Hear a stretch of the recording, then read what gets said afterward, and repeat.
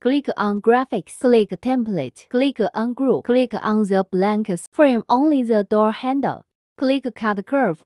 Scroll the mouse wheel to zoom graph. Frame the connection part with the left mouse button and confirm the deletion with the right mouse button. Then frame the door handle on one side and click Pen to connect them point by point.